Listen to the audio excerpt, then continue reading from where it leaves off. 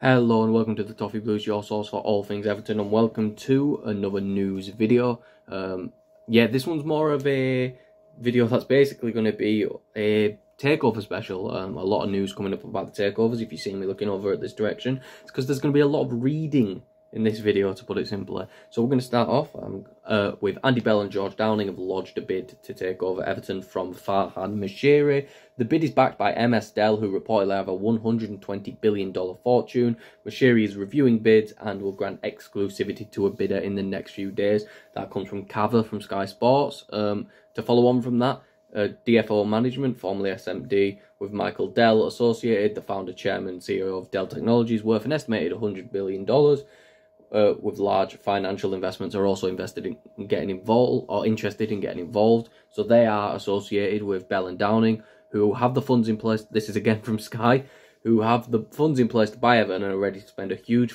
portion of their own fortunes on the deal. Their plan is to restore Everton to former glories and put them on solid financial footing. While also the two have opened a company together called Toffee Ventures Limited.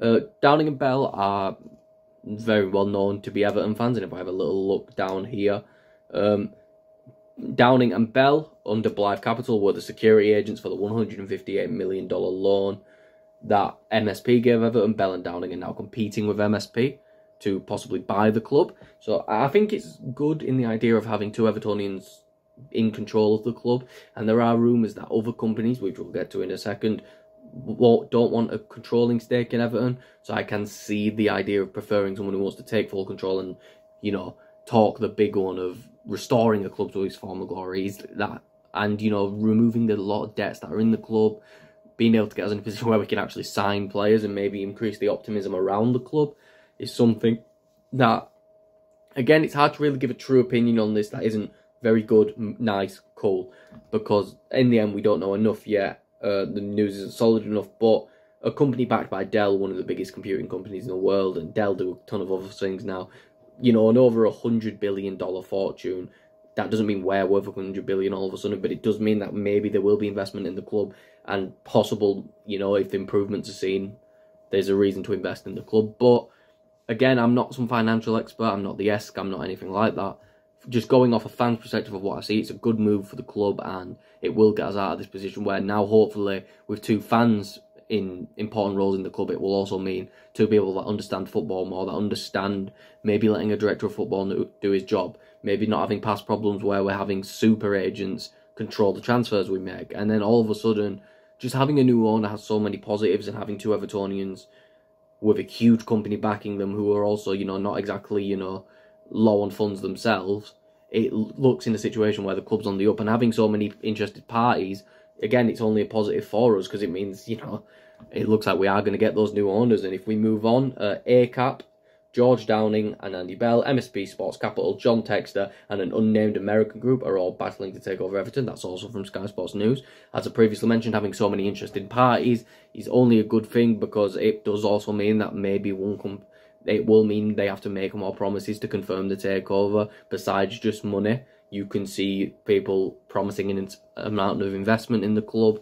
And again, that's only a positive for us because it means it benefits the club. It means more money may be pumped into the club because clubs are going to, um, these investors are going to have to outbid each other. Again, I'm not the ESC, I'm not some financial expert, but I am hoping the people trying to help sell Everton are trying to make sure that promises are made in place that the club will be invested in compared to you know the last few years of Moshiri where he's dug us in a hole and not just left us there but you know he's thrown himself in the hole with us in a sense but um speaking of ACAP, who are a major lender to 777 Partners, have made a proposal to invest in Everton.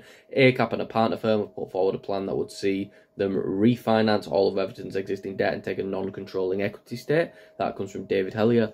I don't really, can't, I can't see any interest in that because it means Moshiri still has an important role at the club, and I don't think anyone wants that. I don't think anyone wants Moshiri still in any sort of control at this club or anyone involved with Moshiri. I think a lot of fans just want Moshiri out, and they just want this new these new people in charge who can really, you know, who can start a new life for Everton, who can resuscitate some life into the club. Still having Moshiri lingering around in the background, I, I don't see a positive in that at all. There is also advanced interest from a global consortium of wealthy investors in taking over the club. It's still unclear what option Farhad Moshiri favours, but an announcement is believed to be in, imminent. That's from Matt Slater.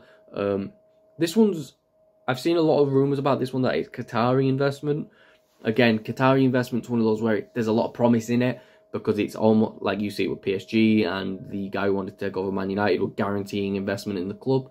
That's only a positive, but we don't exactly know the full details yet. So, and again, announcement's meant to be imminent, which is great. You know, it hopefully means, you know, we can get this part over with early in the transfer window because I don't know how realistic it is, but there is probably a chance we're going to be placed under a transfer embargo while ownership's swapping. So getting this done earlier on in the summer, probably during the Euros, meaning after the Euros, we can go straight into business, signing some players. Um, I know we're still in some uh, PFA, FFP troubles, but you know, I, again, some sales could go. Uh, we could see Onana leave, which then means we can replace, and then maybe in January or more likely next season, we can actually see some investment in the club. Um, for some context on John Textor, John Textor is the co-owner of Crystal Palace, who needs to share his uh, shell. You've probably read this a million times. Needs to sell his shares in Crystal Palace to then take over Everton. But he has also asked the Premier League if he could, you know, if it's possible to buy shares in Everton while still holding Palace shares that he wanted to sell. Um, Textor, I don't really, I'm not really too sure about. Um, again, I've seen videos of him. He seems passionate, which is always fun, but again, you probably want the people with probably the best business brain and also just the money to put in place. You see how much of an impact money can have, but you can also see the detriment it has. You look at like PSG, how much money PSG have spent, but also then just not won anything. Uh, you, but then you look at the Man City side of things, where a ton of investment and the right people in charge can, yeah, and a little bit of cheating can, you know, impact you massively. But if we continue to move on, I again, I am sorry, there's a lot of reading I'm having to do, but that's what it is today. It's a, a big thing on the tra- takeover. Hopefully, we'll get more concrete news soon. But Everton are on also on the verge of announcing that a new group has entered into exclusive negotiations to take over the club. I mentioned that earlier, but hopefully over the next coming days, we're going to see that one group has gone into exclusive negotiations, which hopefully, unlike the 777, means we can get it done, have it finalised, and again move on to possibly signing players, maybe having some new people put in roles at the club. But again, again, it's nothing confirmed yet. There's so many parties involved now that I can imagine the favourites right now are going to be Bell and Downing due to being Evertonians and probably my favourites as well just because of that. But you also you've seen it work at uh, Brighton with I forgot his name, but uh, Brighton's owner, Brighton fan, and it's worked. Look, it's worked out well for them uh, and the model they've taken over. But again, with a, a, club in the position we're in and the history we have, you don't really want to see us taking a Brighton method, but I could also understand why we'd do that. Um, again, um, going on back to Bell and George from Matt Slater, uh, Bell and Downing have been trying to pull a deal together with the Sport of Zeus Capital and BTD and MSD partners. That also comes from Matt Slater. So it seems like Bell and Downing are really trying to find those backers. It seems now they found them in Dell, but it seems like they have been really looking around for those people that can back them to take over the club. And again, if they're willing to invest a heavy amount of their fortune into it too, there's no reason why they're just going to throw money away. They're going to want to the best of the club for them and of course for for the club in general because the more we rise in the table, the more money we earn. The possibility of, you know, European football earns you more money, a deep cup run earns you more money, higher league position earns you more money, and of course there's television rights that earn you just a ridiculous amount of money, which is why you all again you see the teams that get relegated with the parachute payments and also have those TV rights from the previous year, why they're able to just bounce back up now. But if we finally get us into two little bits of transfer news, uh, this one comes from Dan McDonnell. Everton remain interested in Lyon and Ireland defender Jake O'Brien. Borussia Dortmund are interested and are considering a move this summer. AC, AC Milan are also keen. Uh, O'Brien is one where I would be interested in it as I don't know about for a replacement for Brown Branthwaite. I don't know if he's left footed or not, but I have heard that he's been a huge part in Lyon's turnaround in the second half of the season, where they went from bottom of the league to, I believe, getting European football. Like probably, Euro, I think it was Europa League, finishing sixth or fifth. But with teams like Milan and Dortmund involved, uh, we can't, we don't have the spending power to outbid them. And I'd probably prefer a centre half who's got some experience playing in, in England. I believe Jake O'Brien's from Crystal Palaces, uh, was at Crystal Palace before being sold to Lyon. So that's where you can see the interest in it. But again, I'm not too sure on it. I don't know the prices involved, but I think for a decent price it would be a good transfer or a possibility of a loan with an option to buy.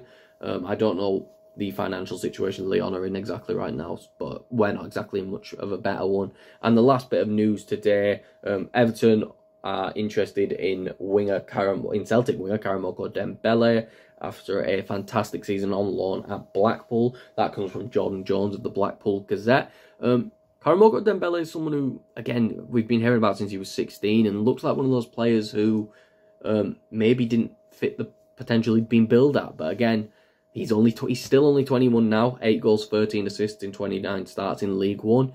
Uh, again, depends on the fee that'll be involved, but West Ham, Nottingham Forest, Brentford, Southampton are also interested, along with Leeds and Middlesbrough in the Championship.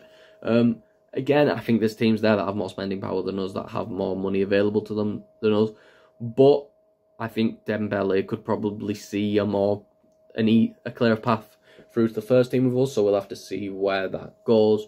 But thank you all for watching. If you did enjoy this video, please make sure to like and subscribe. Follow us on Twitter at Everton Newsfeed, where you're going to see all of this news in the next upcoming days about the transfer news and about these takeover, where we hopefully should find out who is going to get those exclusive negotiation rights soon. Make sure to follow me on Twitter at Callum Brennan Free, and I will see you all for the next video that I'm on or possible live stream. Goodbye, everyone.